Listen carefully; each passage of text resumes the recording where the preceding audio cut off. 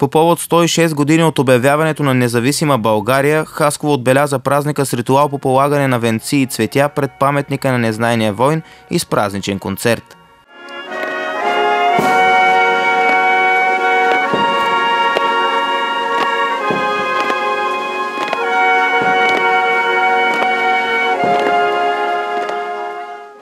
Преди официалната част за доброто настроение на Хасково и гости на града се погрижиха духовия оркестър при община Хасково и мажоретен състав. Слово по случай бележитата дата отправи заместник кмета Недялка Станева. На този ден през 1908 година при изключителни тържествена установка в Старопрестолния град Велико Търново с манифест княз Фердинанд обявява независимостта на България празника по традиция се включиха и военнослужащите от местното поделение 52740.